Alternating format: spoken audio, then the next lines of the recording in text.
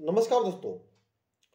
अगर FIR registered हो जाए तो उसके बाद गिरफ्तारी की संभावना भी बन जाती है, क्योंकि एफआईआर कागनिजेबल ऑफेंस की संज्ञेय प्रकृति के अपराध की होती है। संज्ञेय प्रकृति अपराध में पुलिस आपको बिना वारंट के गिरफ़्तार कर सकती है। आई थिंक ये आप सभी को पता होगा, और ऑलरेडी मैंने भी अपने कई वीडियो में बताया है, दंड प्रक्रिया संहिता उन्नीस सौ तिहत्तर में ये प्रोविज़न भी है। लेकिन अगर आपके ऊपर एफआईआर रजिस्टर्ड हो जाती है, इसके बाद ऑफेंस ऐसा है जिसमें सात वर्ष से ऊपर की सज़ा का प्रावधान है। तो उस सिचुएशन में तो भाई आपको Arnesh Kumar versus state of Bihar के जजमेंट का भी लाभ नहीं मिलने वाला है। क्योंकि ऑफेंस अपराध ऐसा है, धारा ऐसी है जिसमें सात वर्ष से ऊपर की सज़ा का प्रावधान है। तो Arnesh Kumar versus state of Bihar honourable supreme court ने वर्ष 2014 में इस जजमेंट में गाइडलाइंस दी हैं कि किसी व्यक्ति की गिरफ्तारी कब होगी, जब उसने कोई ऐसा ऑफेंस किया है जिसमें सात वर्ष तक की सज़ा का प्रावधान है। तो उस सिचुएशन में ऑलरेडी सीआरपीसी में प्रोविज़न भी हैं। कि फोर्टी वन ए सीआरपीसी की नोटिस दी जाएगी ऐसे व्यक्ति को नोटिस का कंप्लायंस करना होगा। जिस स्थान पर इन्वेस्टिगेटिंग ऑफिसर से बुलाता है, वहाँ उपस्थित होना होगा और इन्वेस्टिगेशन में कॉपरेट करना होगा। इस सिचुएशन में उसकी गिरफ्तारी नहीं होगी। अगर वह फोर्टी वन ए सी की प्रोसीडिंग्स जो भी है नोटिस दिए जाने के बाद उसका कंप्लायंस नहीं करता है तो उस सिचुएशन में उसे गिरफ़्तार किया जा सकता है। लेकिन प्रैक्टिकली होता यही है कि फोर्टी वन ए की नोटिस दी जाती है, आप उपस्थित होते हैं, आपकी गिरफ्तारी नहीं होती है। नोटिस का कंप्लायंस मतलब नोटिस आप सर्व हो जाती है तो उस सिचुएशन में गिरफ्तारी आपकी नहीं की जाती है प्रैक्टिकली यही होता है। लेकिन अगर आरोप ऐसा है, जिसमें सात वर्ष से ऊपर की सज़ा का प्रावधान है तो भाई उस सिचुएशन में हो सकती है आपकी गिरफ्तारी। अब उस गिरफ्तारी से बचने के लिए पास, बचने के लिए आपके पास ऑप्शन होते हैं दो। पहला, आप सर्टिवराइल की रेट फ़ाइल करें एफ़ आई आर के लिए साथ साथ उसमें मैंडमस की भी प्रेयर होगी कि गिरफ्तारी से रोकने के लिए जो संबंधित पुलिस अधिकारी हैं, उन्हें ऑनरेबल हाई कोर्ट निर्देशित करें। तो आर्टिकल 226 में आप हाई कोर्ट में फ़ाइल कर सकते हैं रिट याचिका। सेकेंड ऑप्शन है, चार सौ अड़तीस के अंतर्गत आप फ़ाइल कर सकते हैं एंटीसिपेटरी बेल।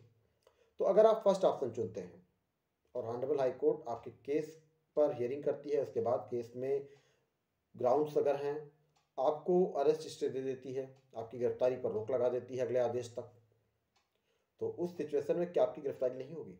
तो फ्रेंड्स इसी पॉइंट को मैं बताने वाला हूँ इस वीडियो में। जब भी अगर आपके ऊपर कोई ऐसे ऑफेंस का आरोप है, जिसमें सात वर्ष से ऊपर की सज़ा का प्रावधान है, आप हाई हाईकोर्ट में रिटाच का फ़ाइल करते हैं। आदेश कोर्ट करती है कि गिरफ्तारी नहीं की जाएगी, लेकिन उसमें एक पॉइंट होता है।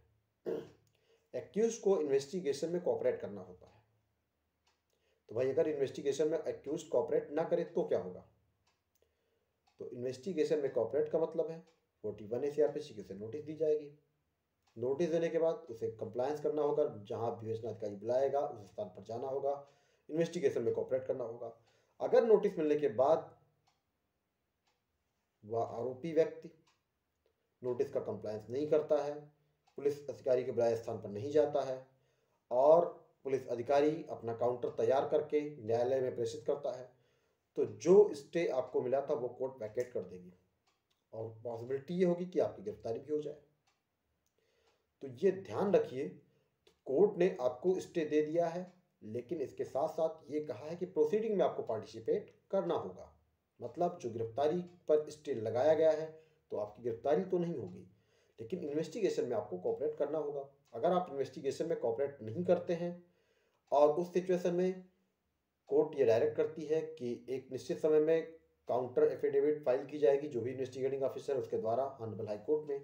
तो उस एफिडेविट में, अगर काउंटर एफिडेविट में इन्वेस्टिगेटिंग ऑफिसर ने ये लिखा कि नोटिस दी गई, और यह व्यक्ति इन्वेस्टिगेशन में कॉपरेट नहीं कर रहा है तो ऑनरेबल हाई कोर्ट आपके स्टे को वैकेट कर सकती है, क्योंकि आप जानबूझकर बच रहे हैं, भाग रहे हैं प्रोसीडिंग से।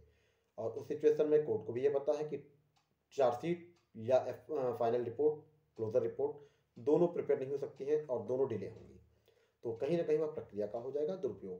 तो ये ध्यान रखिए कि आपको जो अरेस्ट स्टे दिया गया है, वो एक शर्त उसमें ये ज़रूर होती है कि इन्वेस्टिगेशन में आप कॉपरेट करेंगे। आप ऑलरेडी किसी भी जजमेंट में, किसी भी ऑर्डर में आप इसको पढ़ सकते हैं।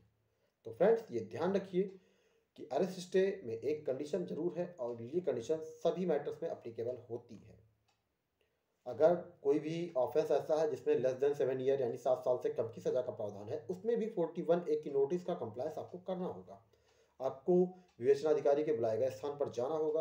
अगर ऐसे प्रोविजंस हैं तो और वहाँ उपस्थित होकर जो भी वह पूछता है उसमें जाँच में आपको सहयोग करना होगा। अगर आप नहीं करेंगे तो सात साल से कम की सजा के आरोप में भी आपकी गिरफ्तारी हो सकती है और उससे ऊपर की सजा के आरोप में भी अगर हाईकोर्ट ने स्टे दिया है तो काउंटर एफिडेविट फ़ाइल होने के बाद उसमें भी कोर्ट वह स्टे वैकेट कर सकती है।